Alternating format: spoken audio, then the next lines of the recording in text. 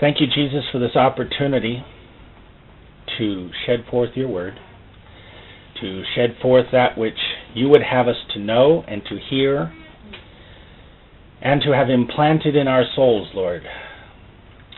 We be no better than some of our computer boxes, Lord, that need chips changed every now and then. Lord, we just ask that your truth would come and replace any bad chips in us. Rewrite any encoding from the past, Lord. Change anything in us, Lord, that needs to be altered. We just thank you, Lord, for this opportunity to be submitted to your word and to grow a little bit further. Lord, I ask that you would not only anoint this message, of course, clarify this message, but also, Lord, uh, help me to deliver this message in exact timing. And I thank you, Lord, for all the truth and all the references. I ask, Lord, for not only your words and your mind, but also your precision. In Jesus' name, amen.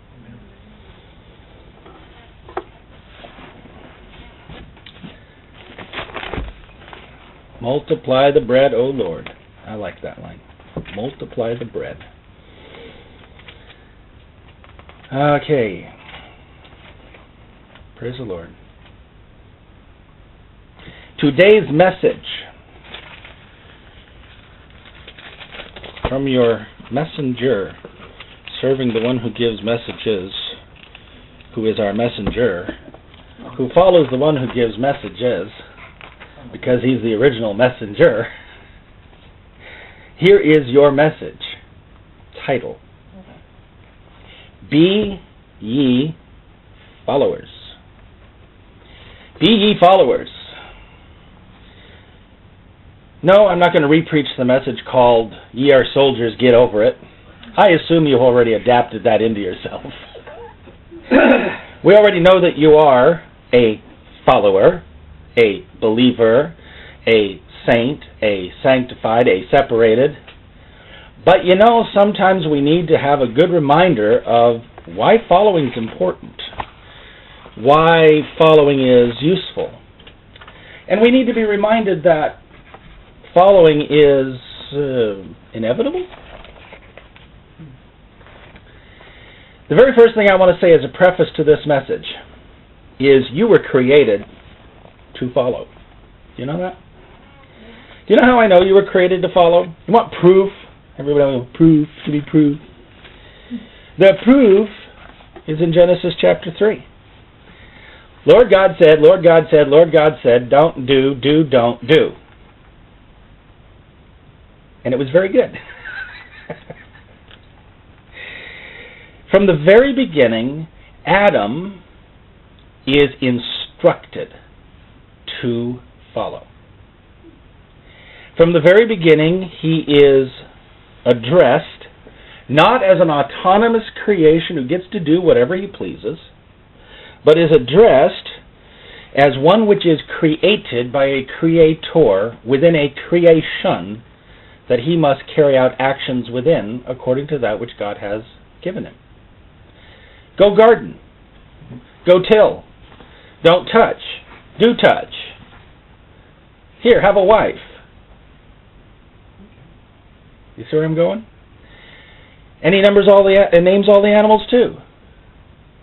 From the very beginning, Adam did not have the concept of I'm my own boss, I'm my own self, I stand alone, and I'm a god unto no man. Uh, sorry, moved a little forward in time there. And Eve did not walk around the garden going, I'm a goddess, I'm a goddess. That's what I am, I'm a goddess.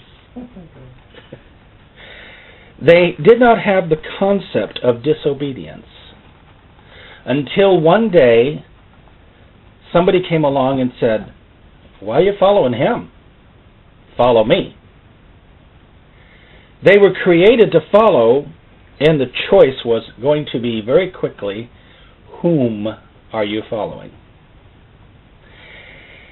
When you stop to consider everything that's happened to the human race since that time, and if you consider this entire book right here, this is a book about following or not following.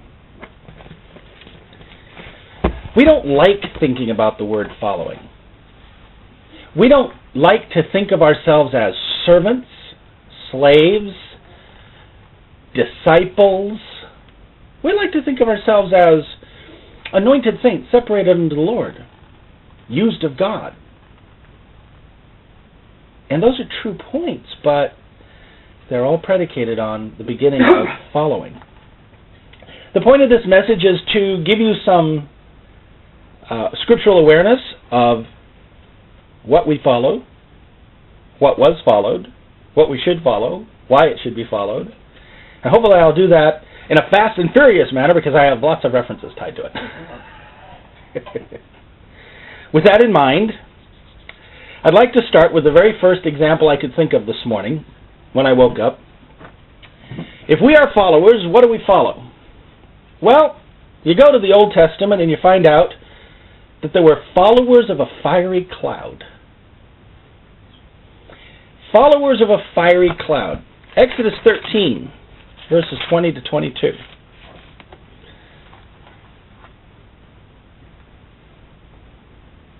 Hmm. See, I did it again.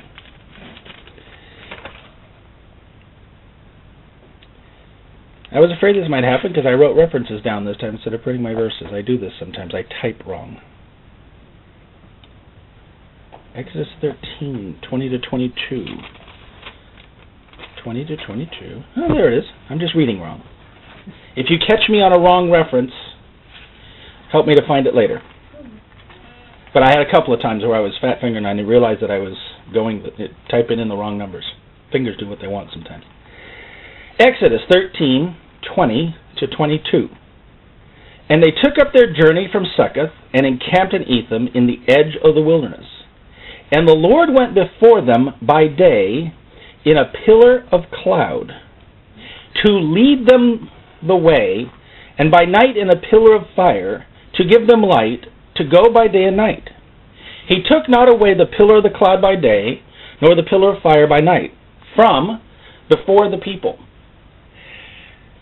Israel is just starting out in its relationship with God they're just beginning to be free of Egypt, and the first thing they got to turn around and do is follow. Yay, I'm free from slavery. I'm free from this world. I'm free. I'm born again, free. And the very next sentence comes, now, follow this. But, but, but, but, but, but I was free. Yes, you are free. The freedom is in what you're following. When you're following, the pillar of cloud and fire, you're now in a relationship that is different than the relationship of following as a slave to Pharaoh. You have to understand that in both cases you were following. In both cases you were surrendered. In both cases you have to do what you're told. And the flesh doesn't always like that. But like I said, from the beginning we were created to follow. Behold, a man is going to become as one of us, either good or evil. And he's not going to do it by himself. He's going to become as one of us, good or evil. We will either have man made in our likeness and image, or we will see man made in your likeness and image. Look. So from the beginning, Israel, being set free by the power of God, does not start making up their own mind to try to figure out where they're going, what they're going to do, who they're going to conquer, why they're going to go conquer it. And the mixed multitude don't get to have a voice.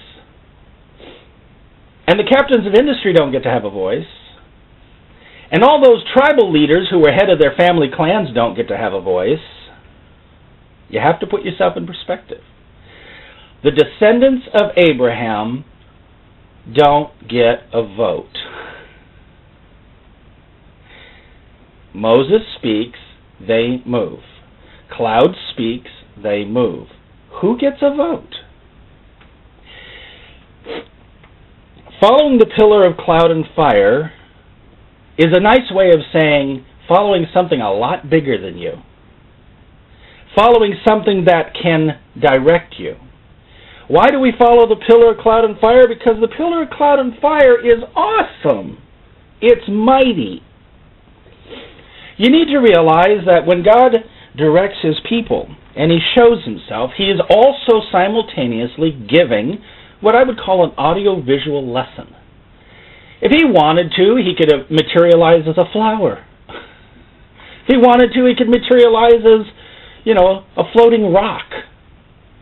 He could materialize and do whatever he wants in any form he wants. But he chooses imagery to show us something. These things are written for our examples. These things are written for us to be able to draw some inference from and say, hmm, historical narrative, however, personal application. The pillar of fire and cloud stands there as a testimony against the world, I will judge you, and as a protection to the saints, I will cover you. But it does not mean that you're free to do as you please. The pillar of cloud and fire is going to direct them by day and keep them warm by night. That's pretty awesome. It might be pretty cold out there in the wilderness at night. I honestly believe they got heated up by that cloud, by that fire. It's very cold in the desert at night. They didn't have a thousand campfires at first. They grabbed some stuff, they hauled some stuff off, but they still let some grow into doing it. Because you're basically talking about people who hit and ran. They hit the kingdom of Pharaoh and they ran. And they really didn't have time to make sure everything was perfectly put together. They had a night to get it together, pack it up, and let's get it moving. And let's move it really fast. I think the pillar of cloud by day is a way of saying, you know what?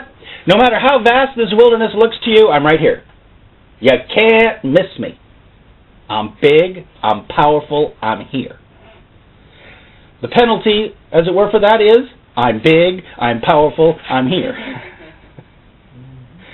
You can try to walk around me, you can try to ignore me, you can try to see me some other way, and you'll find out I'm big, I'm powerful, and I'm here. Pharaoh thinks he's going to be able to chase after my saints and buck me. He's in for a surprise because I'm big and I'm powerful and I'm here. Exodus 14, 19 to 25.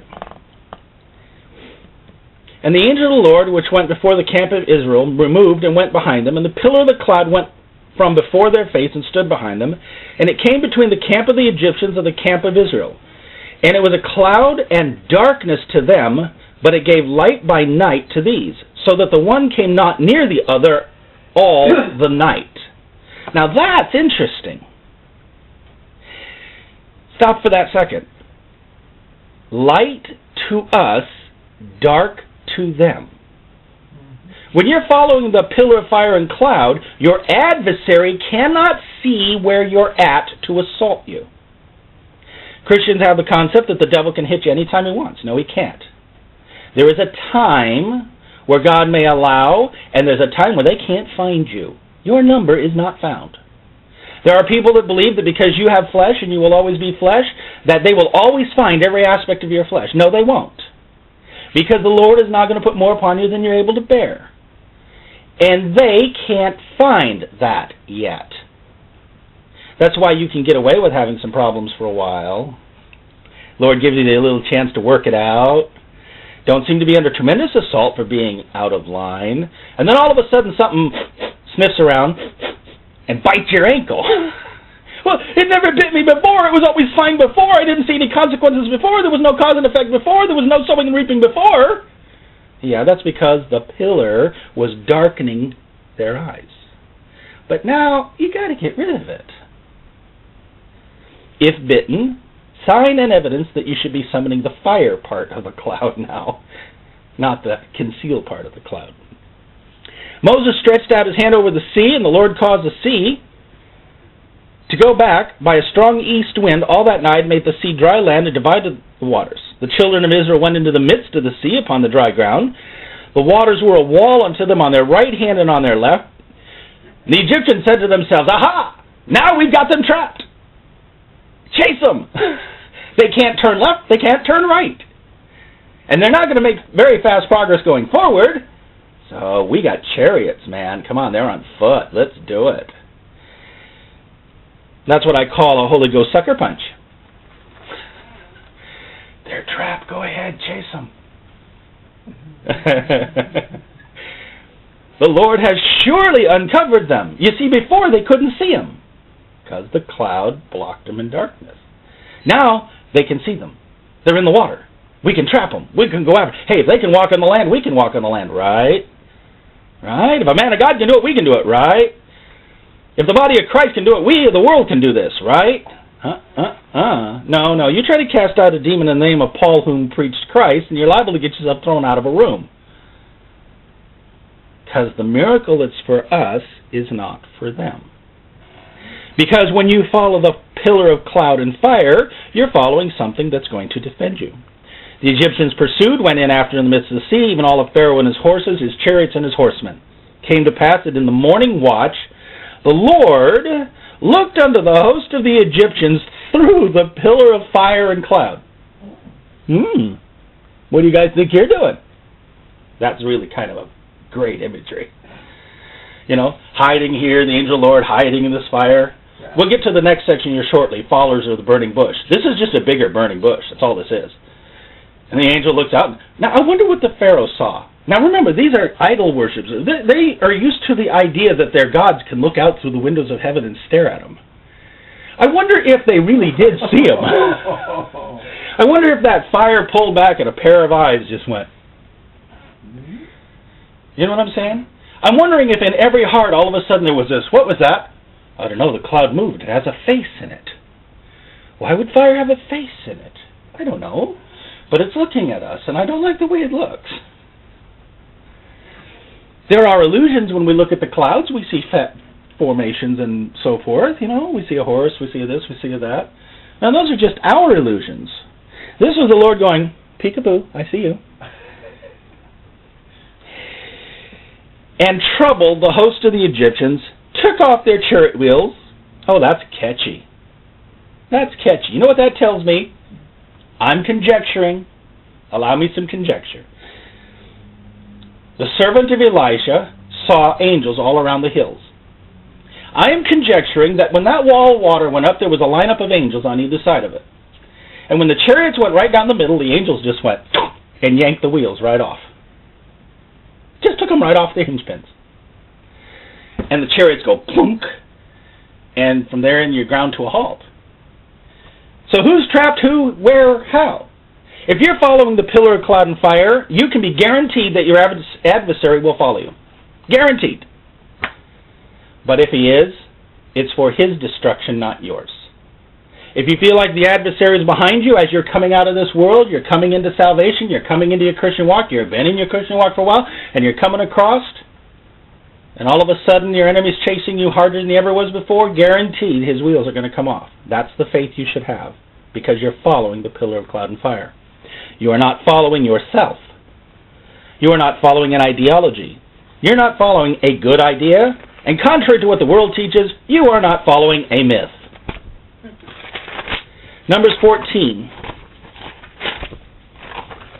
Numbers 14, verses 13 to 20. Moses said unto the Lord, Then the Egyptians shall hear it, for thou broughtest up these people in thy might from among them. Yep, that's what he did, in his might. And they will tell in the inhabitants of this land, for they have heard that thou, Lord, art among this people, that thou, Lord, art seen face to face. And thy cloud standeth over them, and thou goest before them by day time in a pillar of cloud and a pillar of fire by night. Now, if thou shalt kill all this people as one man, then the nations which have heard of the fame of thee will speak, saying, Because the Lord was not able to bring this people into the land which he sware unto them, therefore he hath slain them in the wilderness. Now I beseech thee, let the power of my Lord God be great, according as thou hast spoken, saying, The Lord is long-suffering and of great mercy, forgiving iniquity and transgression, and by no means clearing the guilty, visiting the iniquity of the fathers upon the children of the third and fourth generation. Pardon, I beseech thee, the iniquity of this people, according to the greatness of thy mercy, and as thou hast forgiven this people from Egypt even until now. And the Lord said, I have pardoned according to thy word. The pillar of cloud and fire has been leading these guys from Egypt till this very moment when all of a sudden God, in a private conversation with Moses, is saying, I've had it. These guys have bucked, barked, argued, fussed, fumed, murmured, complained.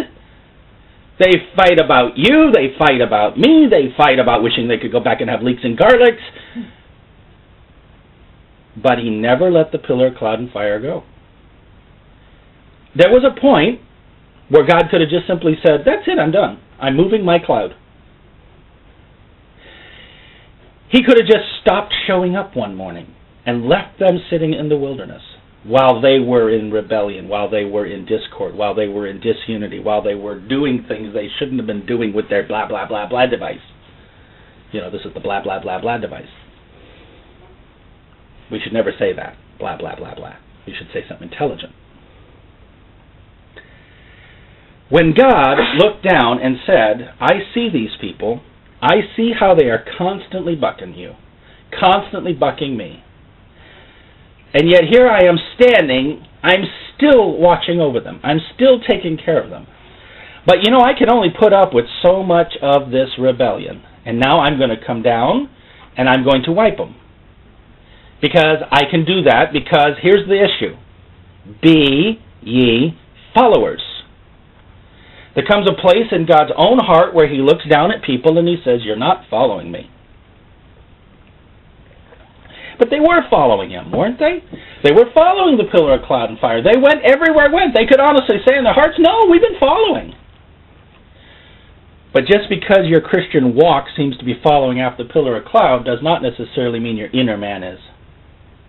And if the inner man is in opposition to God, then your outer man following is likely to be in trouble. The pillar of cloud and fire says to us, I'm bigger than you, and now you're ignoring me. he says to the man of God, Let me wipe them out. I'll start over. I'll use you. Moses says, Well, let's have a discussion about your nature first.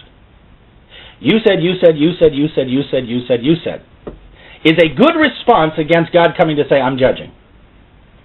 A lot of Christians think, hey, judgments is coming, judgments is coming. Hippie hooray. Well, you better watch out because you might be standing in line. Because when judgments are coming, they don't tend to hit only specifically. You know, that whole region's a mess and judgments are coming. Yeah, and you're living in that place. And the ripple effect. Think for a moment of the ripple effect of 9 11 on our nation. I'm not the one that lost any relatives. I'm not the one that had anybody I knew bombed. I'm not the one who, I'm not even in that state. And the fallout is on us. Now imagine for a moment the fallout when God judges. See, Moses considered the fallout. He said, No, Lord, don't do that. If you do that, here's the fallout. These nations will say that you brought us up out of that nation in order to slay us. And that's going to damage the whole future of what you're working on. Now you say God wasn't stupid. He didn't do that not knowing. But he has to have a man to stand in the gap against judgment. Even if the people deserve it. The pillar of cloud and fire is demonstration I can mop up entire nations. I wiped out Egypt. I can wipe out you. Don't follow, and there is penalty. But mercy overrides judgment. And what he says is, You're the one who said, according as thou hast spoken, saying, The Lord is long suffering and great of mercy. That is what God had told Moses earlier on, was to be his understanding. That when he declared, It is the I am that's coming to tell you to set you free, he also came saying, And I am a God of mercy.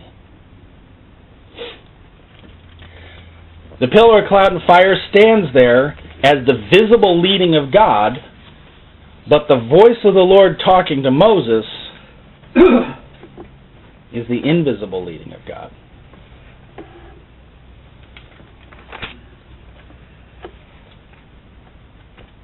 Let's move on. Followers of the burning bush. Exodus 3 1 to 6. Moses kept the flock of Jethro, his father-in-law, the priest of Midian. He led the flock to the backside of the desert, came to the mountain of God, even to Horeb. The angel of the Lord appeared unto him in a flame of fire out of the midst of the bush. He looked up, and behold, the bush burned with fire, and the bush was not consumed. Moses said, I will now turn aside and see this great sight, why this bush is not burnt. When the Lord saw that he turned aside to see, God called on him out of the midst of the bush, saying, Moses, Moses. And he said, Here I am. And he said, Draw not, not, draw not nigh hither, put off thy shoes from off thy feet, for the place wherein thou standest is holy ground. Moreover, he said, I am the God of thy father, the God of Abraham, Isaac, and Jacob. Moses hid his face, for he was afraid to look upon God. The burning bush example, to me, is a good example of what do you do when the Holy Ghost first pricks you on something, gets your attention on something. We love the manifestations of God's Spirit. We love thinking about the manifestations of God's Spirit. But when He manifests, the very next thing behind that is going to be instruction in righteousness, admonition, correction, that which we need, direction. Which means that it's not just there to be nice. It's there because a work's going to be done. The manifestation of the burning bush stands as a type to us to pay attention when God speaks in a mystery. See, what he said was Moses saw the burning bush, and then he said to himself, What's this? He got Moses' curiosity. Now, Moses could have passed right by that burning bush. You got to see the importance of that. The burning bush is God's subtler way of drawing you aside. He says, Hi, here I am. Pay attention. And when he sees Moses turn, then he starts to talk to him. I wonder how many times the presence of the Lord has come down upon us. How many times, as it were, the fiery bush has materialized in our spiritual prayer times.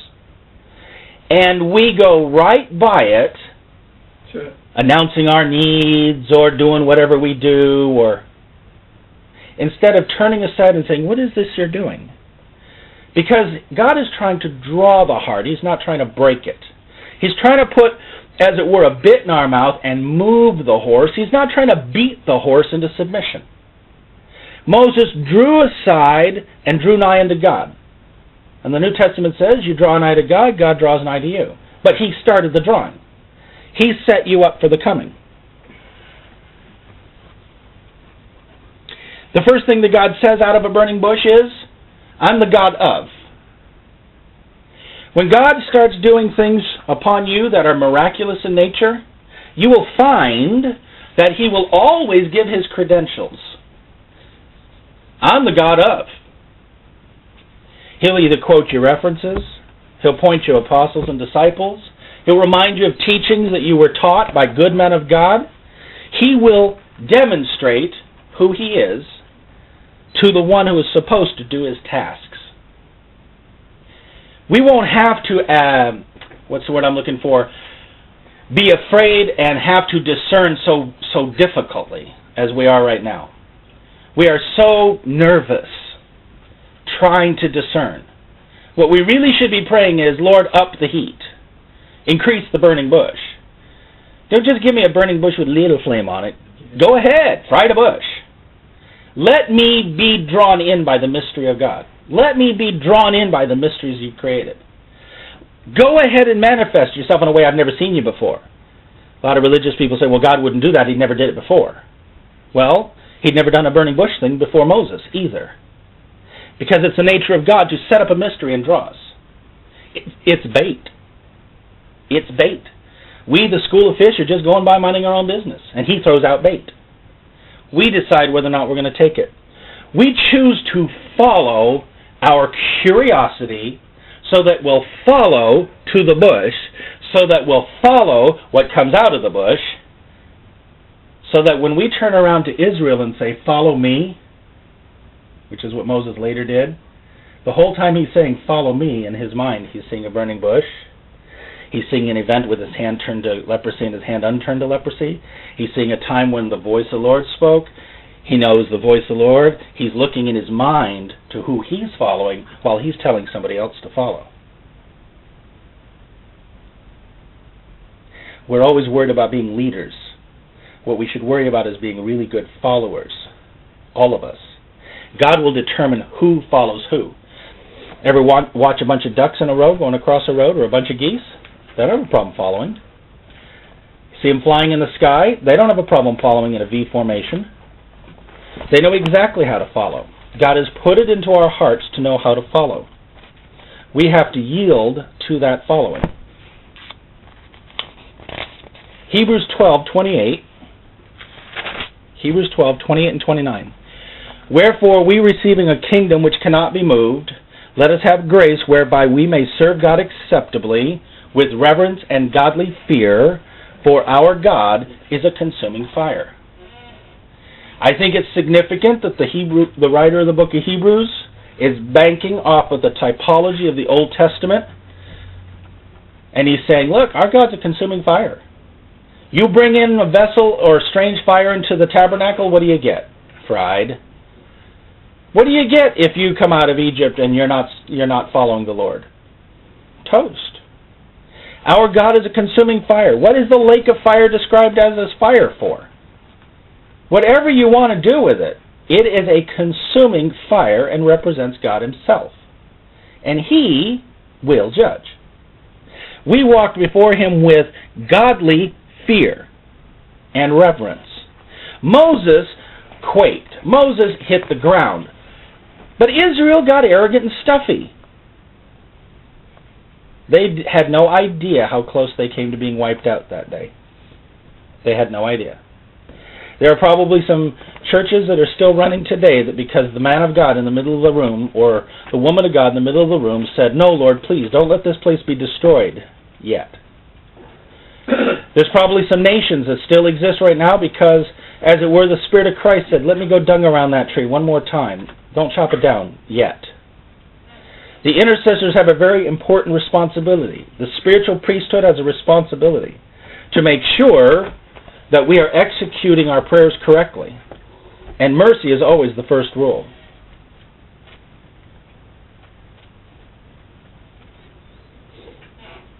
Next category followers of the man of God. We should be followers of men of God. It was that way in the Old Testament. It is that way in the New Testament. Exodus 4 1 to 9. Moses said, Behold, they will not believe me, nor hearken unto my voice, for they will say, The Lord hath not appeared unto thee. Lord said to him, What's in your hand? A rod. Cast it to the ground. Cast it to the ground, it became a serpent. Moses fled from before it. Yeah, I would too. Lord said unto Moses, Put forth thine hand, take it by the tail. He put forth his hand, caught it, and it became a rod. That they may believe that the Lord God of their fathers, the God of Abraham, Isaac, Jacob, has appeared unto thee. The Lord said furthermore unto him, Put now thine hand in thy bosom. He put his hand in his bosom, and we took it out. Behold, his hand was leprous as snow. He said, Put that hand into thy bosom again. He put his hand in his bosom again, plucked it out of his bosom. Behold, it was turned again as the other flesh, his other flesh. And it came to pass, and it shall come to pass, excuse me, if they will not believe thee, neither hearken to the voice of the first sign, that they will believe the voice of the latter sign. And it shall come to pass, if they will not believe also these two signs, neither hearken unto thy voice, that thou shalt take the water of the river, pour it on the dry land, and so forth, etc., etc., etc., and so forth and so on. The signs confirming the word. See, Moses was right in saying it's very difficult for people to discern when they say, The Lord told me this, whether or not the Lord really told you that. That's okay. The reason for the signs and the wonders is to back up what God is performing. So when we say followers of the man of God, what we're really saying is followers of the man of God is going to demonstrate very clearly that he's a follower of God. We're not followers of the man. We are followers of the man who is of God. We have to keep in perspective that all following is predicated on who's following who. If the man or the woman is following God, and they are demonstrating that which God has told them to demonstrate, we should not be afraid to follow. We should be afraid to follow kings and monarchs who are not. But admittedly, we have to go before the Lord and ask Him because sometimes God's doing invisible works, not blatant, visible, you know, snake to rod, rod to snake type stuff. Sometimes we have to ask the Lord point blank, do I follow this one or not? There was a time in my life where I had to make a choice about following a man of God. A man walked up to me and said, Oh no, you're near that one? No, no, no, no, no, get away, get away, danger, danger. And somebody else said, No, no, no, good man of God, good man of God. And I was a Baptist. I didn't know one thing or another. And I went before God and I said, I got to know. Man of God or not? Want me to follow him or not? Am I supposed to do this or not? What do I do? Now, I was a novice and I knew that. And so should you. We've been around for ages, some of us. the man of God will be confirmed with signs following. God answered my prayer that day. Actually, answered the, the following weekend, rather blatantly. I had no question after that. I have no problem following a man of God, any of them. Do you? See? But a lot of the church does. They're always sitting there scrutinizing, scrutinizing, scrutinizing, and the problem is they're going to be looking for the man's flesh to determine whether or not you should follow the man of God. Oh no, that Moses, you can't follow him. He smote the rock twice. He's a disobedient one. I think I'd rather follow Moses, the merciful one, who said unto said unto um, God, you know, have mercy on these people, and just not pay attention to that whoopsie slip stuff. The man of God will come with signs following. You need to pray for more signs and wonders following. If you be a man of God, if you be a woman of God, if you be an intercessor of God, if you be a handmaiden of the Lord, then you should be asking the Lord to back up what you're doing. And if you're just speaking your own mind and your own ideas and your own opinions, none of us really need to follow you. We might still like you, but we don't necessarily have to follow you. the issue here is follow what is safe to follow. If you try to follow that which is not safe, you lose. Numbers 12.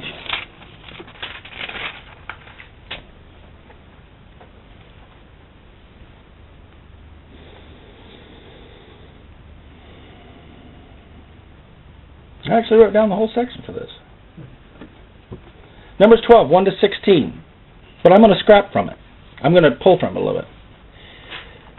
This is the story of Aaron and Miriam thinking they is somebody. Prophets of God. Bucking God's prophet. And it says that Moses was very meek in verse 3 above all the men which were upon the face of the earth. And Moses and Aaron seem to be, excuse me, Moses, uh, Miriam and Aaron seem to be a little bit more forceful. Your your type, what is it, A personality? I don't know. And so they're boldly coming in against the man who was really meek. Well, you know why the man was really meek? Because once upon a time he was really forceful and slew an Egyptian and learned his lesson after 40 years in a burning bush and a few things. Now he's like really meek. So how does that get interpreted? Uh, well, that's an awful quiet prophet. Maybe we need to convince him. Beware of the quiet prophets. They come in, they make their to-do. The Lord comes down and he says, Hear now my words. If there be a prophet among you, ooh. Oh dear, don't start with an if statement. You appointed us, we're prophets. Uh, well, if there be a prophet among you. I, the Lord, will make him, myself known unto him in vision, and I will speak to him in a dream. My servant is not so, who is faithful in all my house. With him will I speak mouth to mouth, even apparently, not in dark speeches, and the similitude of the Lord shall he behold. It's an interesting term, similitude of the Lord, just keep that in mind. Wherefore then were ye not afraid to speak against my servant Moses? Right. See, followers of the man of God have to have a certain understanding of respect. It's one thing to be a Berean and to look at and weigh and analyze. It's another thing to touch God's anointed to try to do his prophets harm, to try to exalt oneself against a calling. If it's not your calling, don't touch it. If it is your calling, if you're a prophet among the prophets, then you get to speak with the prophets like a prophet. However, even this lesson says there are degrees of prophets. Careful who you're dealing with. So, well, this is all Old Testament. Does apply to the New Testament? Of course it does. Because every commission is unique. You go read your First Corinthians passage, every member of the body gets its function from the Holy Ghost as He dispenses it according to His will. That means we're not all doing the same level of anything. So I will be careful not to tread upon or oppose or be haughty against another man of God. Even if he's only had one miracle every two years. You know what I'm saying? Yeah. If he's had a miracle of the Lord and God's backed him up with a sign and a wonder, eh, careful. Not saying humans can't make mistakes. Moses made some mistakes. Paul made some mistakes. But you still, before God, as a follower, follow. It's an important thing to realize that following keeps you safe, even though you're dealing with human beings. Joshua 22, 1 to 6. Joshua called the Reubenites, Gadites, and half the tribe of Manasseh, said unto them, You have kept all that Moses, the servant of the Lord, commanded you, and have obeyed my voice in all that I commanded you. That's his opening line. Who can you trust? Leaders are always looking to see who they can trust. Do they trust the man who's always bucking him? Or do they trust the ones that seem to be true followers? Ye have not left your brethren these many days unto this day, but you have kept the charge of the commandment of the Lord your God. See, you followed Moses, you followed me, and you followed the commandment of the Lord. This is right and proper. Now the Lord your God hath given rest unto your brethren as he promised them. Therefore now return ye, get ye into your tents, into the land of your possession, which Moses the servant of the Lord gave you on the other side of Jordan. Come ye into the reward, faithful servants. Faithful servants have a right to those rewards. Take diligent heed to do the commandment and the law which Moses the servant of the Lord charged you, to love the Lord your God, to walk in all his ways, to keep his commandments, to cleave unto him, to serve him with all your heart, with all your soul. Now, I'm sorry, where does that leave room for what about me? Hmm. The what about me question gets answered in the following what about him? He will take care of you. So Joshua blessed them and sent them away, and they went to their tents. The blessing of the Lord comes upon those who know correctly who they're following and why. Oops. 2 Kings 1 7 to 15.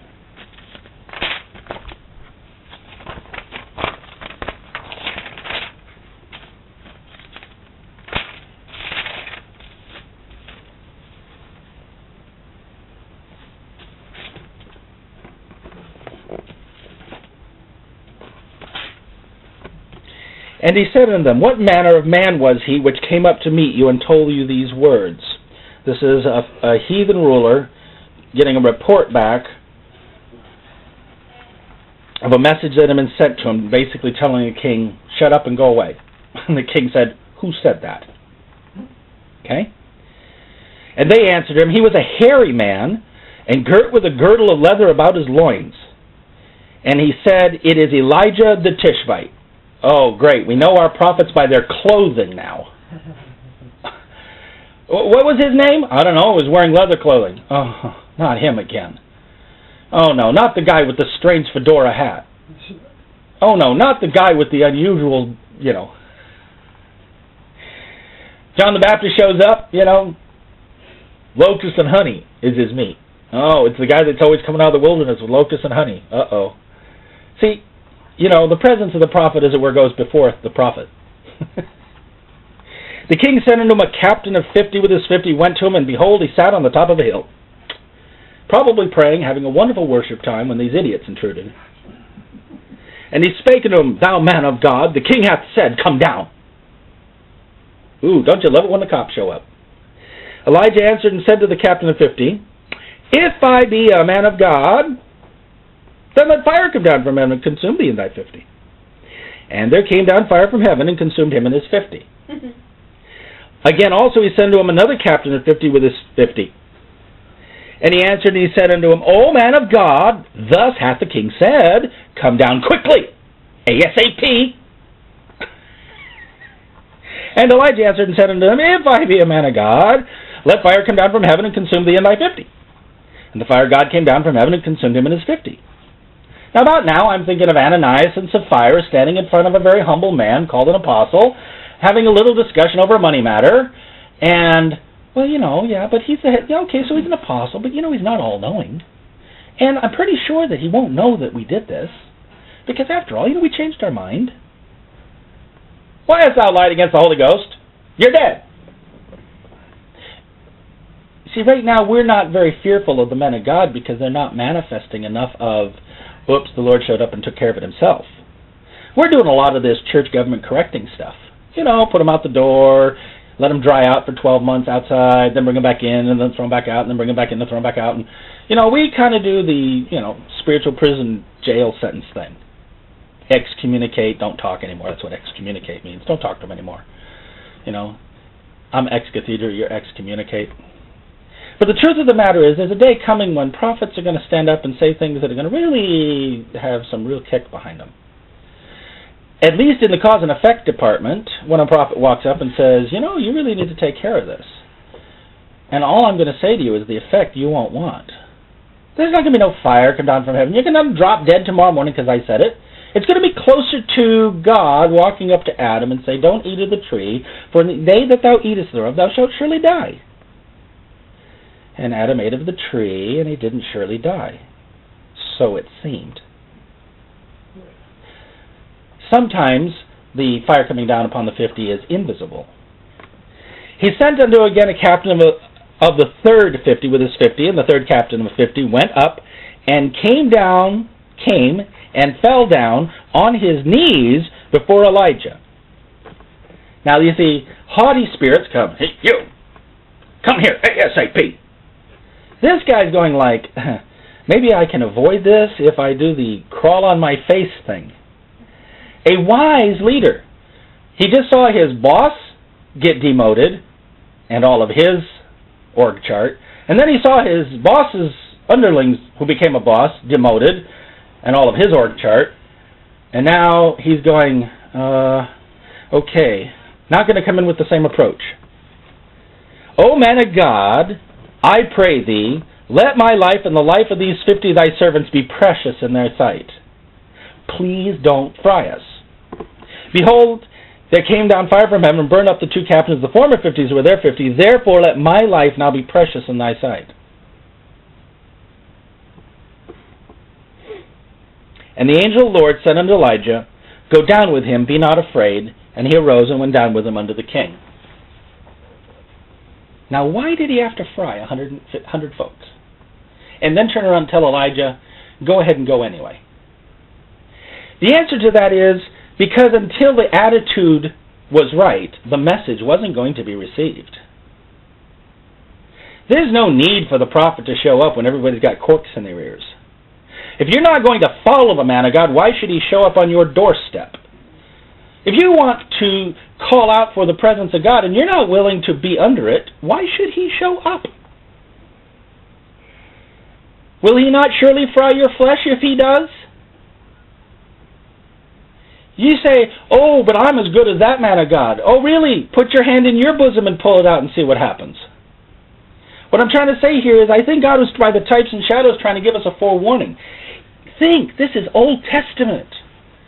If this which is Old Testament was recompensed this way, what's the penalty for bucking Paul? And three quarters of the New Testament hereby written. If he be a man of God, we better follow every bit of his books. Second Kings. Uh, no. Uh, First Kings. 17.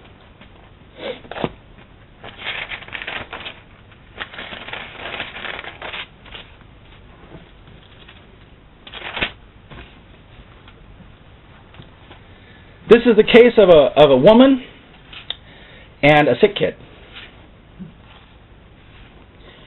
She says unto Elijah, What have I to do with thee, thou man of God? Art thou come unto me to call my sin into remembrance and to slay my son? He said unto her, Give me thy son. He took him out of her bosom, carried him up into a loft where he abode, and laid him upon his bed. Cried unto the Lord, and said, O Lord my God, hast thou also brought evil upon the widow with whom I sojourn, by slaying her son? Here was a blessing of the Lord, and it's dead. What, are you really that mad with us that now you're killing off the blessings you gave us? It's a fair question to ask sometimes. He stretched himself upon the child three times, cried unto the Lord, and said, O Lord my God, I pray thee, let this child's soul come into him again. Boy, that's insight for an Old Testament saint. And he revived. Elijah took the child, brought him down out of the chamber into the house, and delivered him unto his mother. And Elijah said, See, thy son liveth. And the woman said to Elijah, and this is the kicker, Now by this I know that thou art a man of God, and that the word of the Lord in thy mouth is truth. You are the prophet of God. You are the man of God. And I now know that what you're telling me is also true. Whenever the signs and wonders back up the word, the immediate response is, uh oh, now I'm believing. If you go to Corinthians and look about prophecy, and a man prophesies and speaks something that is absolutely dead accurate, the first response on the inside becomes uh oh. Maybe God is with you. Maybe you are a man of God, woman of God. Maybe you really are a handmaiden of the Lord. That is the correct response to and from followers. She just needed a little more convincing. So if the Lord allowed her son to die, that it might be to the glory of God, like the disciple scenario with Jesus, no, oh, this is not because of their sin, but to the glory of God, I'll convince you. Hey, I'll let people die if I have to to convince you. Our ways are not his ways. Our thoughts are not his thoughts. The object is to produce righteous followers. God uses men of God, but he also uses himself to make that an event. We are followers of the God of the man of God. Let me read you a little bit about Caleb real quick. Interesting passage on Caleb. Numbers 14.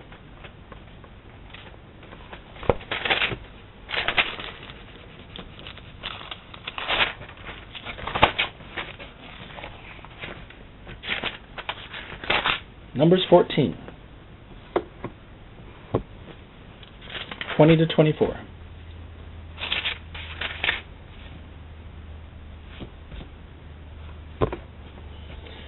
And the Lord said, I have pardoned according to thy word, for as truly as I live, all the earth shall be filled with the glory of the Lord. Remember our message from last time? Mm-hmm. All the earth shall be filled with the glory of the Lord. Keep that in mind from last time. Because all those men which have seen my glory and my miracles, which I did in Egypt and in the wilderness, have tempted me thou these ten times. Um, and have not hearkened to my voice. Surely they shall not see the land which I swear unto their fathers, neither shall any of them that provoked me see it. Rule number one spiritual experiences do not go to the disobedient. But my servant Caleb, because he had another spirit with him, and hath followed me fully, him will I bring into the land wherein he went, and his seed shall possess it. My servant Caleb was a follower of me, he says. Well, Caleb was following Moses. Caleb went in and saw the land and came back with the report that God wanted brought back the report of faith. And because of the report of faith, and following, he received the land. Numbers 32, 10, and 13, 10 to 13 goes with this.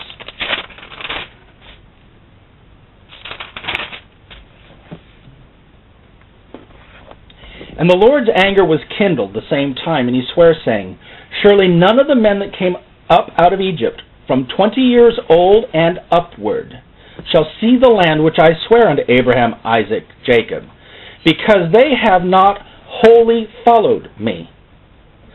Save Caleb, the son of Jephunneh, the Kenizzite, and Joshua, the son of Nun, for they have wholly followed the Lord. And the Lord's anger was against Israel, and he made them wander in the wilderness forty years, until all the generation that had done evil in the sight of the Lord was consumed. Now there's a lesson here. Look around at the church world, and you say to yourself, looks like the church is in for some chastisement. Looks like the church is in for some judgment. Looks like the church is in for. But that doesn't necessarily mean you will be if you have been a follower. There is no need for God to bring judgment or even correction, chastisement, if you're following.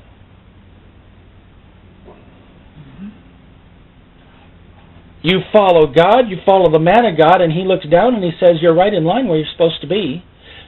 As it were, the fire is going to run on your left side, run on your right side, and not touch you. You can have absolute confidence in that. Mary said, I am thy handmaiden, as the Lord desires. So be it. Easy do. Following is not painful. Following is not painful. Some of the fallout because we follow might be, Maybe some persecution, maybe some people looking at us weird. But following will keep you safe from what's coming against those who do not follow. Caleb and Joshua got land, prosperity, blessing, increase, got to live an extra 40 years while everybody else around them croaked, got to train up the next generation, that's pretty obvious, got the blessing Moses didn't even get, he had to go up to Mount Nebo and die. And all of that because they were followers.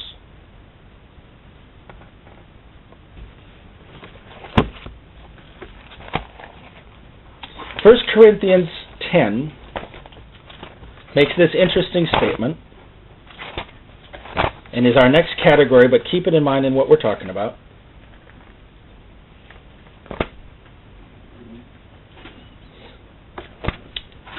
1 Corinthians 10, verse 1.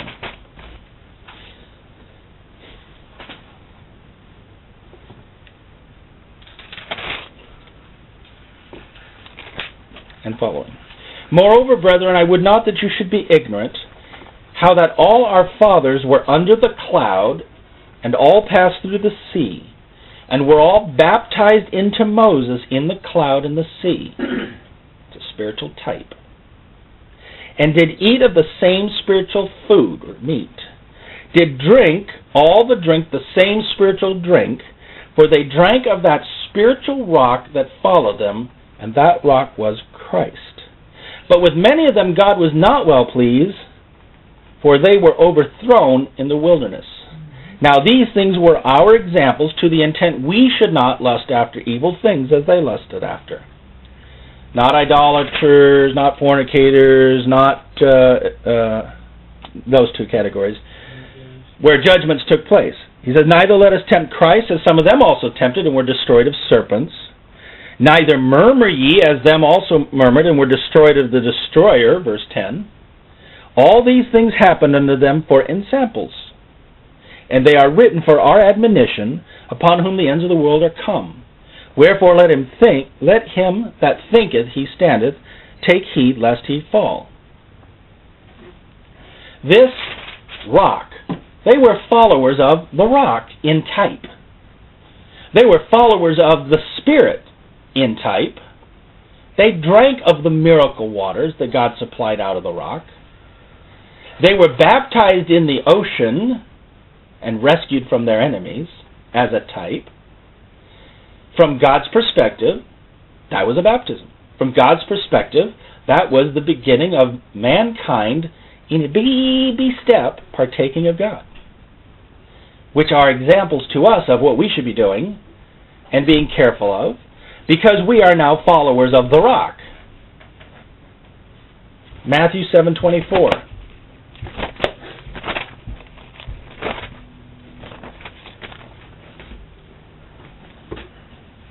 Therefore, whoever heareth these sayings of mine and doeth them, I will liken him unto a wise man which built his house upon a rock. The rains descended, the floods came, the winds blew, and upon that house, and it fell not, for it was founded upon a rock. And every one that heareth these sayings of mine and doeth them not shall be likened unto a foolish man which built his house upon the sand. Rains descend, floods come, winds blow, beat upon that house, and it fell, and great was the fall of it. Came to pass when Jesus had ended these sayings, the people were astonished at his doctrine, for he taught them as one having authority, not as the scribes.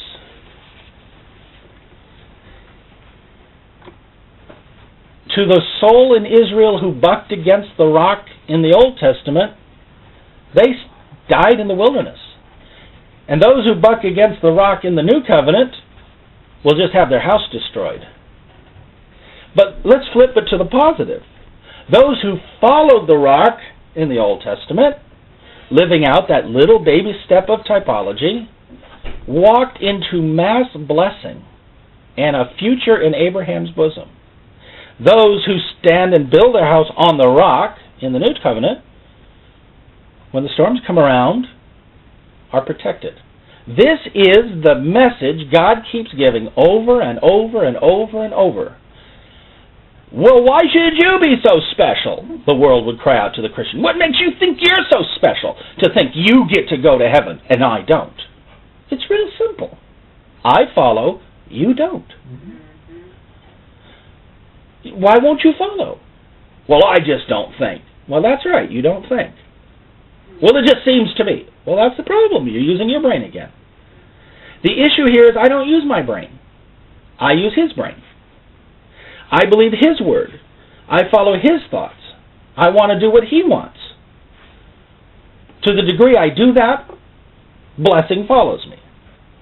To the degree I don't do that, I run the risk of bleaching my bones in a wilderness, spiritually or otherwise. To the degree I preach this message, we'll get done with it. To the degree I don't, we won't. I'm following the tenor of this message. I'm never going to make it to the end of it. We're going to probably have a two-part message.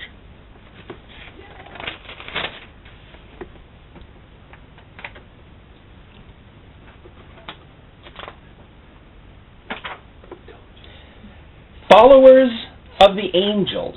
Do you know we follow angels? We even follow angels. Let's start with Genesis 22, 10 to 18. Genesis 22.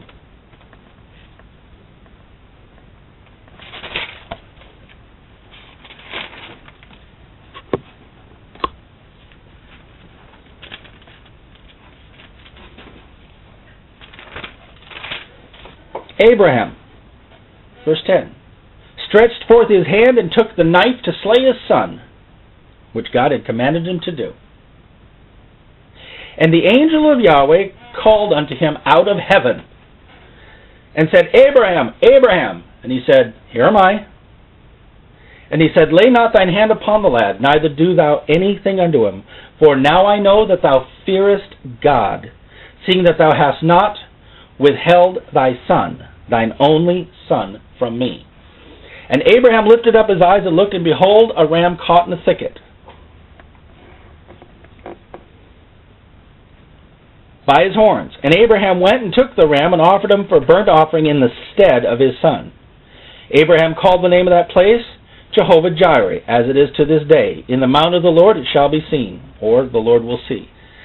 The angel of the Lord called unto Abram out of the heaven the second time and said, By myself I have sworn, saith the Lord, for because thou hast done this thing and hast not withheld thy son, thine only son, that in blessing I will bless thee, and in multiplying I will multiply thy seed as the stars of the heaven, as the sand which is upon the seashore, and thy seed shall possess the gate of his enemies.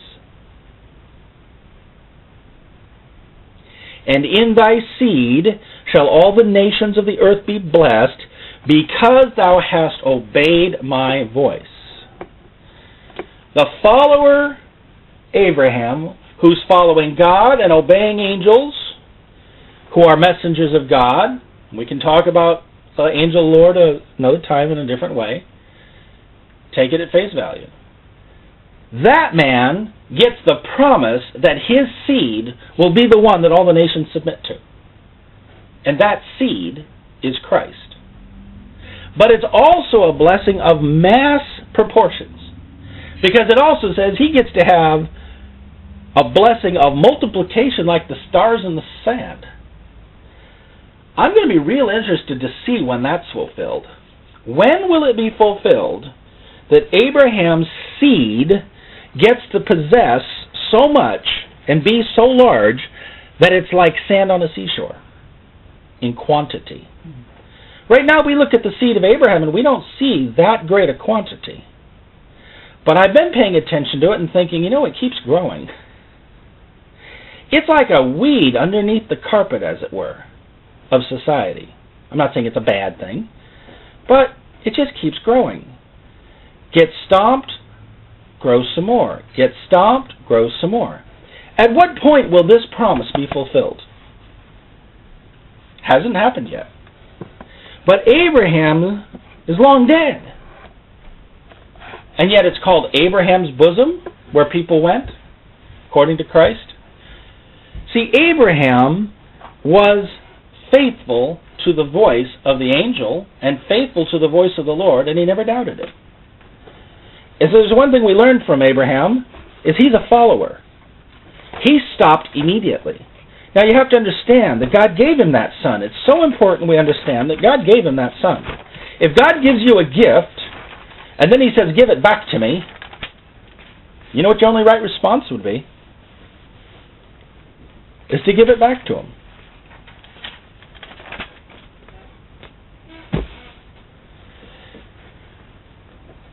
He might give it back to you after you gave it back to him, or he might not give it back to you after you give it back to him. Because he's going to want to know what's more important to you, the gift I gave you or me? You get a test like that, who do you love? Do you love me or do you love the stuff I give you? Always love him. Uh, seems like a rather simple thing to do, doesn't it? Until the thing becomes so important to us, whatever that thing might be.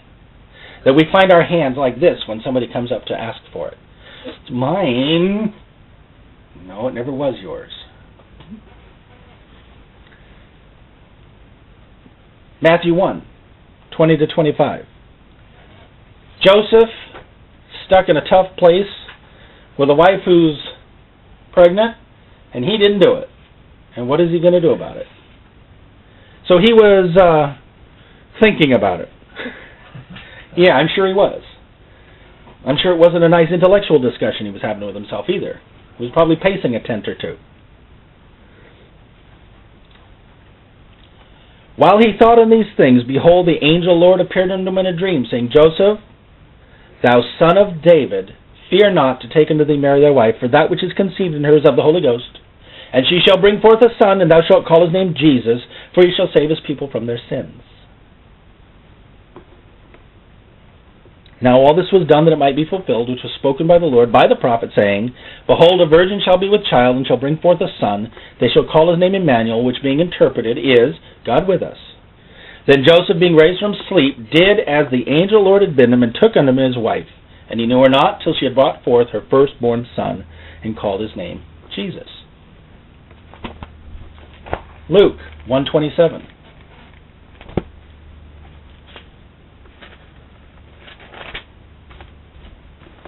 to 32. To a virgin espoused to a man whose name was Joseph of the house of David, and the virgin's name was Mary. The angel came unto her and said, Hail, thou art highly favored. The Lord is with thee. Blessed art thou among women. When she saw him, she was troubled at his saying, and cast in her mind what manner of salutation this should be. yeah. And the angel said unto her, Fear not, Mary, for thou hast found favor with God. Always a good line to start out with when an angel shows up, because he can show up with a different line. Saul, this day thy kingdom is removed from thee line. So it's always good if an angel shows up, he declares three things to you. One, who he's from. Two, how is it going to deal with you? And three, you know, don't be afraid, stand up.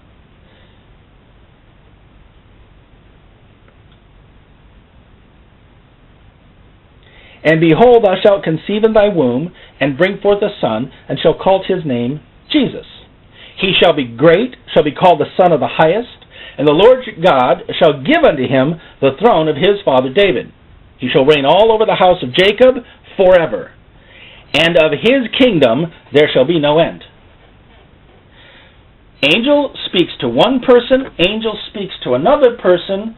The message the Lord wants delivered to confirm to both of them so they both know what's going on. Okay? Keep that in mind for a second. Acts 11.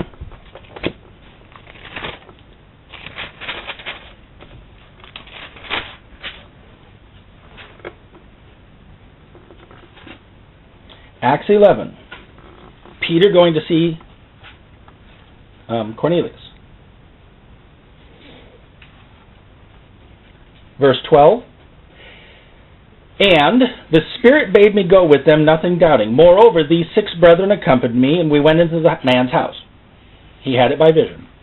He showed us how he had seen an angel in his house, which stood and said unto him, Send men to Joppa and call for Simon, whose surname is Peter, who shall tell thee words whereby thou and all thy house shall be saved. And as I began to speak, the Holy Ghost fell on them as, at, as us at the beginning. A man has an angelic visitation that says, go get these guys because these guys are going to show you how to get saved. That's remarkable. That's fascinating. And the man was not disobedient to that angel. And not only did his house get saved, got spirit filled the same day. That is remarkable. Now, if God would uh, send a few more angels out on our behalf, we have an innumerable company of them, so that the people we're praying for to get saved would start having visitations and not just mental uh, machinations of trying to figure out whether or not what we told them is true or not. If the Holy Ghost would just show up, our job would become a lot easier, a lot quicker. But they still have to listen to that angel when it shows up. Acts 12, verses 7 to 11 says, And behold, the angel of the Lord came upon him, and a light shined in the prison. And he smote Peter on the side, and raised him up, saying, Arise quickly! And his chains fell off from his hands. And the angel said unto him, Gird thyself, and bind on thy sandals. And so he did. And he said unto him, Cast thy garment about thee, and follow me. And he went out and followed him, and wist not that it was true which was done by the angel, but thought he saw a vision. When they were past the first and second ward, they came into the iron gate that leadeth into the city, which opened to them of his own accord. And they went out, and passed on through one street. And forthwith the angel departed from him. And when Peter was come to himself, he said, Now I know of a surety that the Lord hath sent his angel, and has delivered me out of the hand of Herod, and from all the expectation of the people of the Jews. He thought he was in a vision. Now think about that for a second. This man is so obedient, he is so much a follower, that if an angel shows up in a vision, in his mind, he thinks it's a vision, he's obedient. You've got to see the marvel of that. His heart was so solid in obedience that the vision had power to him. He just followed him. He did it. And then he discovered it's a real angel, and the angel set him free.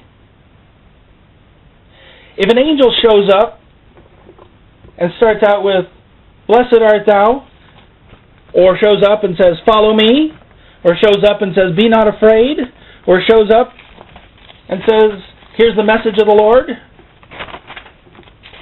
your response in your heart shouldn't be, Oh, well, I don't follow angels. I try to make sure that I am my own man. Because you see, Zacharias tried that one. Well, what do you mean? I mean, I, I don't understand. I, I just, I, I don't see how that can happen. Okay, you're dumb for a while. Well, okay, when your child's born, we'll let you talk again. That's the way you don't do it. Revelation 1 1 says, The revelation of Jesus Christ, which God gave unto him to show unto his servants things which must shortly come to pass. And he sent and signified it by his angel unto his servant John. And the entire book of Revelation, it's John having this conversation with his angel who's leading him about, showing him things. Now remember what I said. Whether in vision or not, we have here a man who is obedient to follow.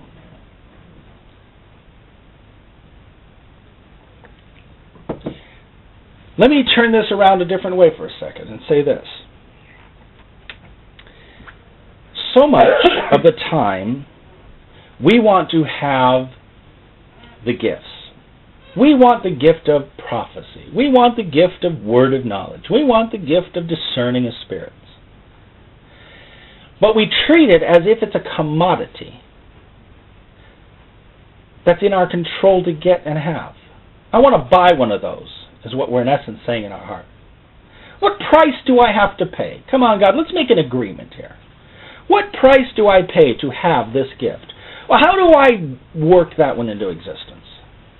It's one step shy of Simon the magician saying, How much do I pay so I can have the power to do this giving of the Holy Ghost stuff? Whereas the follower simply follows, and God then gives the gifts. Because they are worthy of the gift, because they're never going to use it for themselves, because they really don't know they don't know better how to mess it up. The church at large lost all the gifts of the Spirit from the inception of the church within a few hundred years. Why? Because they were following God so absolutely perfectly. I don't think so. We call it the Dark Ages because they lost complete contact with anything to do about following God in anything the book said and wrapped it about with traditions galore, and in essence fulfill the verse that says, You shut up the kingdom of heaven. the Reformation and the times following, all of a sudden there were men saying, Better to obey God than the church, better to obey God than man, better to obey God than. And all of a sudden, we have Reformation, revival, change, baptism of the Holy Ghost. Now we're up to to you know neo Pentecostal, and we go past that to you know Word Faith movement. They go past that to the prophecy movement. Now we're going to move past that to the where are we going? You know, we got deliverance ministries out there with discerning of spirits. We got casting out of devils. We've got healings. We've got, and it isn't even the ball, the snowball that's rolling down the hill headed for that city called the world has no clue. They're clueless. But that ball is getting bigger every year. We're always looking at the destructions. We're always looking at the failures. We're always looking at what's lost. But that's because the followers are the ones who are tucked away in the caves. The followers are the ones who are trying to learn to keep following. That's why God in the Old Testament always says, And unto the remnant I will give. Because the other guys who are running the show aren't doing it. We worry about obedience versus disobedience. I think I caught a point out of this message this morning when I was putting it together. Scrap the obedience disobedience thing. Quit trying to figure out how to obey. What? You can't mean that. Of course I do.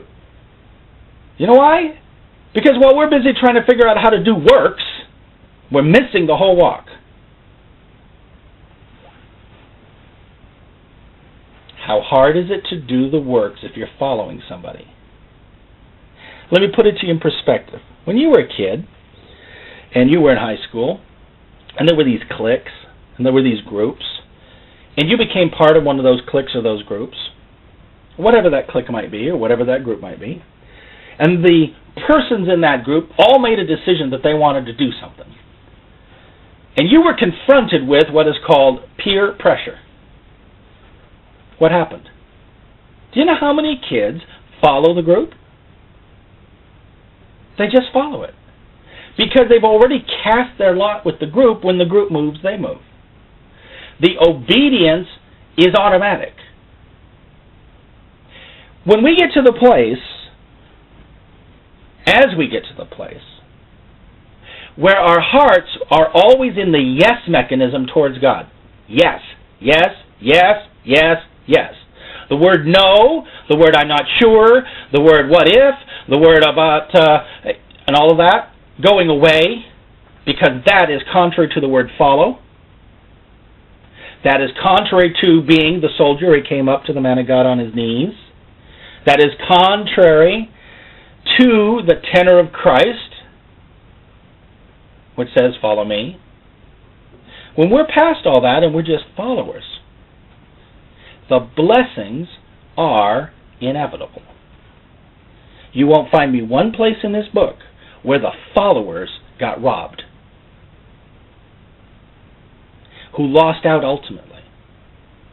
You won't find one place in this book where the downturn in a saint's life didn't turn into an upturn somewhere. This book is absolutely clear on how God deals with man. And that's the issue. He is trying to tell us that followers will always be covered by him. Followers will always manifest him. Followers have the blessing that others don't get. We're oftentimes in discussions of why is it so and so has and some of us have nots? And the answer to that is some of them follow their dreams and they never let go no matter what. Some of them follow their plan and they never let go no matter what. Some of them follow their destiny and they never let go of that, whatever they conceived it to be. And some of them followed their demons and never let go and became what they became. Behold, as one of them. And some of us follow the Lord. We won't be deprived either. If it's true in a solical natural world that if you stay tight and follow what you're supposed to follow there and it gets you to a conclusion, it's a thousand times more true when you're following it in the Lord. There's this lie that the devil's put out. He's put it out in the world. He's putting it out through the media. And the lie basically goes like this. If you will bow down and worship me, then you'll have all the kingdoms of the world. But if you don't bow down and worship me, you are going to be broke, smashed, smushed, incapable for your entire existence. How arrogant of him. How arrogant of him. When he tempted Christ with that, did Christ not end up with the blessing of the whole world? The very thing the devil was offering him was already offered. He was just trying to change the source. The adversary says, well, you know, if you do these things, then, then I'm going to rise up against you. I'm going to punish you. But he never tells you or reminds you about chariot wheels popping off in the middle of places you're sent to by God. If God calls you up to a closet and says, Follow me into the closet, son, daughter, come with me into the closet, and you close the door, you have no idea what storm just brewed outside. And you didn't see it that way. You have no idea what brewed outside. Mm-hmm. The day he said, Come into the closet. Because whatever he's about to do to you is going to affect them. Whatever is going to happen to them, you're protected from as long as you're in the closet. That's why Moses, the hand over the cave. That's why Elijah and the other 50s in caves. God always has a place to tuck you away while other things are going on. Followers will find themselves in unusual places. They'll find themselves in unusual needs. But they will always find themselves. You give up your life now, what looks like a loss. Your prized son goes up on the altar. And just about the time that you think nobody cares, you're going to hear an angel from heaven speak. And it's going to say, Now I know thou carest more for me than thee. And here's the sacrifice to replace your death. Follow me?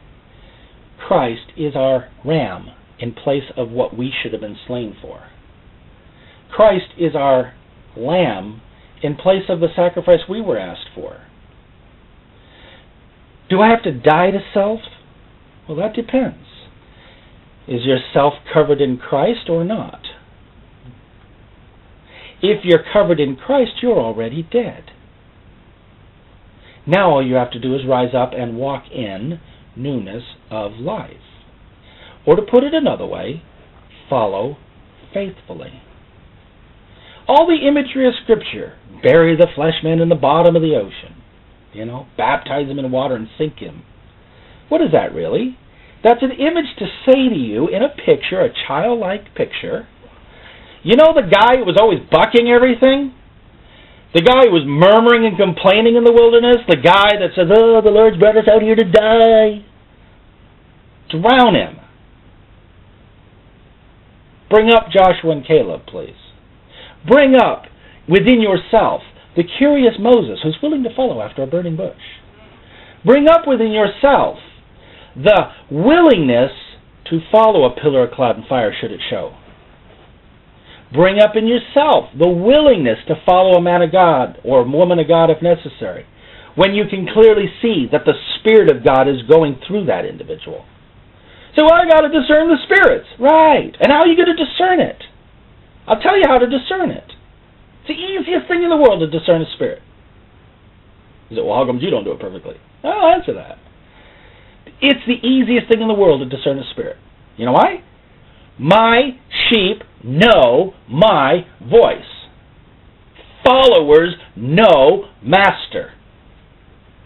People who are bucking and confused and always murmuring and complaining and fussing can't get those voices out of their head. Followers don't have that problem. Somebody may walk up to a man of God and say, Well, what, why do you think that God told you to do that? You know? The newscasts are coming up saying, Tell us, Pastor so and so, tell us, Reverend so and so, tell us, Prophet so and so. What makes you think God's talking to you? Well, He does. You know what I'm saying? Thousand people in a room, and the Holy Ghost falls down. And He hits some and He doesn't hit others. I can't indict the others for not being hit. I can certainly point out the ones who got hit. Why did they get hit? Why did the Holy Ghost come down on him? Because he's not uncomfortable with them. Because he's used to them. Because he needs to demonstrate something to them and he knows they're going to follow. Is the love of the truth really that important? Is the love of the truth really so significant? Oh, sure it is.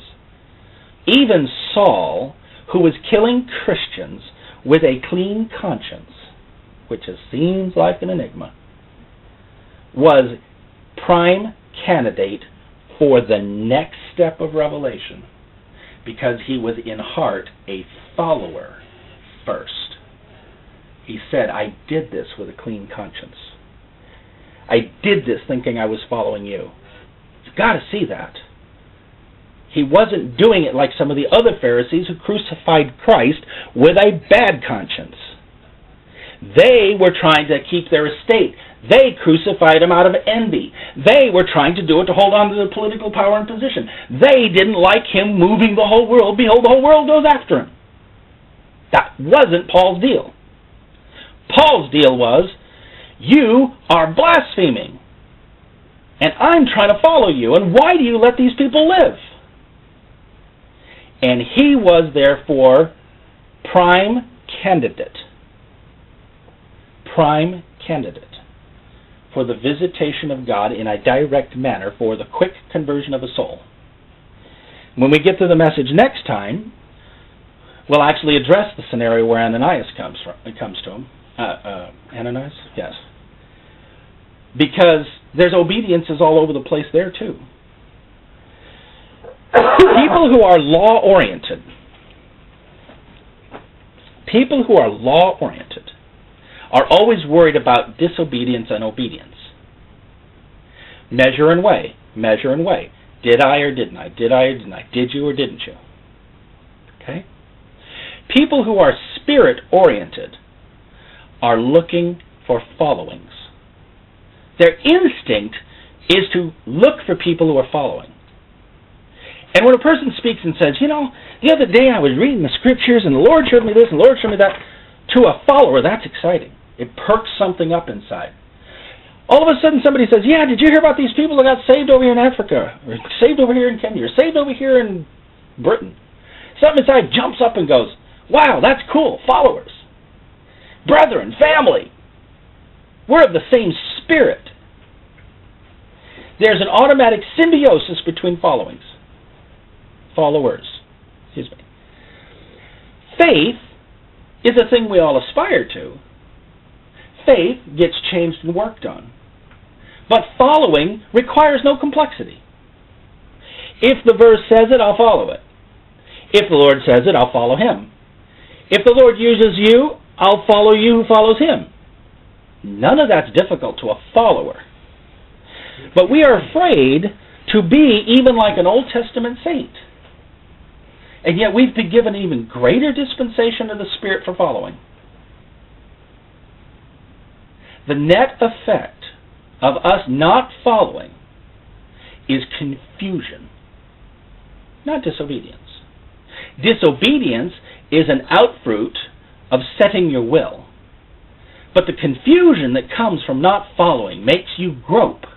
It makes you always looking to try, and you, and you just can't quite get your fingers on it. When you get yourself in the heart and place where you say, Lord, I'm a follower first, and I'll let you teach me how to filter all this stuff out. I'm listening to you. You're speaking to me. I only want to know one thing what's coming out of you. The rest of it's you. I love you. You're great. I like hanging out with you.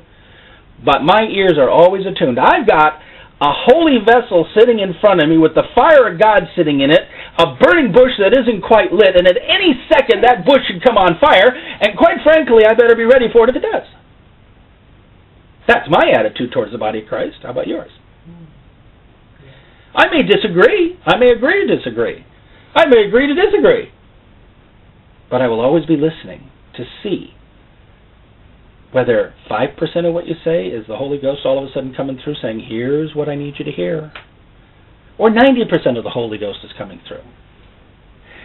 If we get to the place where we're not afraid to follow, if we get to the place where we at least become Old Testament saints in our way of doing things, we will go further faster than the whole church world is right now. We will be the Joshuas and Calebs with the power of God manifest, with the gifts of God manifest, with the voice of God clear as a bell. And all of that because we simply followed. I've been asked the question in times past why it was when I tell my testimony in my early years. They say, why, why, why did God speak to you so much?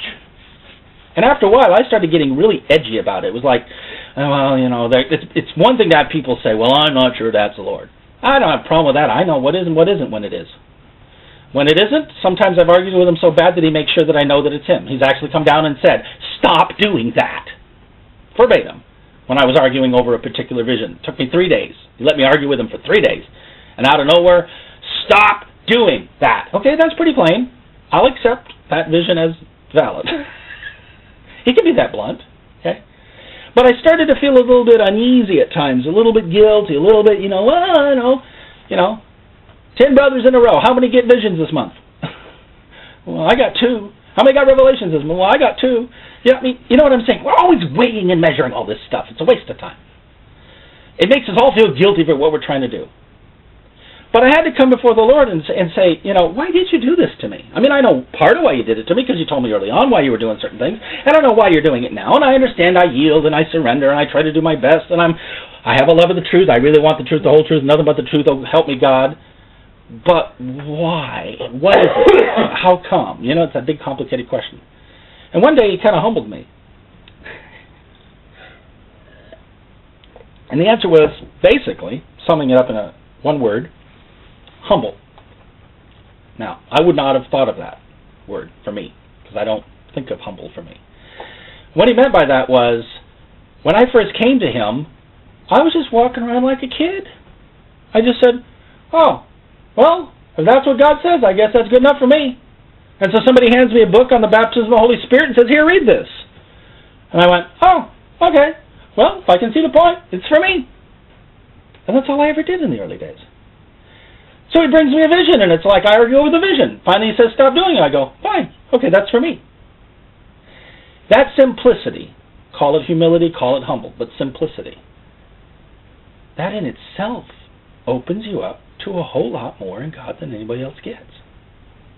Because he's not he's not going to destroy you with it. You know, some people get really big headed when they get too much of God's knowledge. Some people get really big headed when they get too much of God's Spirit. Some people get really big headed no matter what. but the simple child, that's what Jesus said, the simple child, that's the one who's going to get it. Quit trying to be so adult about it. Kids follow by nature. They do have a flesh man that will throw tantrums also. But in general, they follow. When dad's voice hits a certain tone, you know what I'm saying? When there's a certain line drawn in the sand, son, I've said it once, I've said it twice, and about that time you're going, woo. There's a certain willingness. I mean, come here for a second, son. Not now, Dad. I'm playing Nintendo. Bad move. More and more children are becoming disobedient. More and more children are losing the advantage of understanding what true obedience is. They're called the children of disobedience in Scripture. We are not such children. We have an advantage in that we grew up in a time period where obedience was considered normal. We're now moving into a generation where obedience is considered abnormal. Don't fall for the spirit of the age that says, following is going to destroy you. Rising up and standing on your own haunches, that's what will save you. God has never saved the haughty, the arrogant, the stiff necked, the proud faced. He takes the humble and he exalts them. He takes simple people and he exalts them. He takes a fisherman and he exalts them. He can take a scholar like a Paul and exalt him if the heart of the scholar is simple. Simply a follower. We'll talk more about this next week as we go through some more verses and some other categories of followers of what? Jesus, I thank you for this opportunity. We bless your name. Keep working this issue in us, Lord, as we go forward in time. Amen.